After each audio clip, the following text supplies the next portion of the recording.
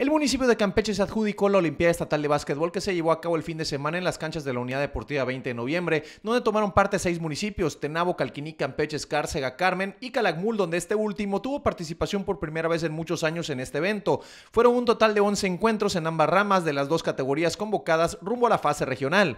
En la categoría 2001-2002 rama varonil, Campeche derrotó en la final a Carmen con marcador de 34 puntos a 21.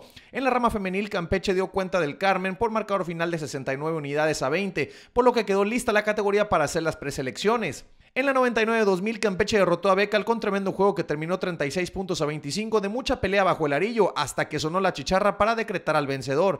En la rama femenil Campeche también ganó, esta vez a Tenabo por marcador de 42 a 31.